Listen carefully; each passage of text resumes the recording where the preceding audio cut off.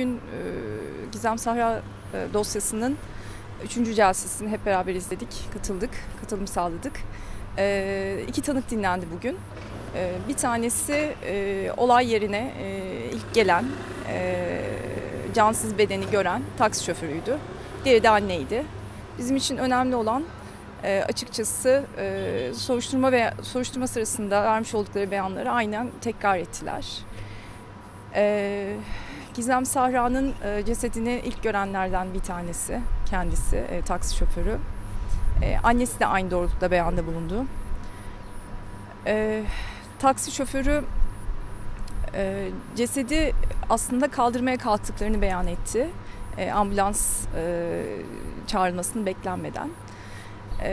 Bu bizim için önemli bir ayrıntıydı. Önümüzdeki celseden önce de İzmir'de son bir tanık kaldı.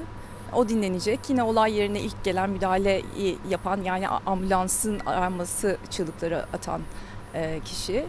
O dinlendikten sonra da e, mütalaa bekliyoruz. Umuyorum e, en ağır cezayla cezalandırılacak. Bu celse biz yine aslında tevzi tahkikat talebinde bulunduk. Yani bu cinayetin biz canavarca hislen, hisse e, işlendiği kanaatini taşıyoruz. E, ek savunma alınması talebimizi yineledik. E, zaten e, önümüzdeki celsede aynı taleplerimizi yineleyeceğiz. E, umuyoruz en ağır cezayı alacak e, kendisi. Bundan sonraki celsede 6 Ekim saat 10'da e, biz Fethiye Kadın Danışma ve Dayanışma Derneği olarak bu dosyayı takip ediyoruz. 6 Ekim'de buradayız.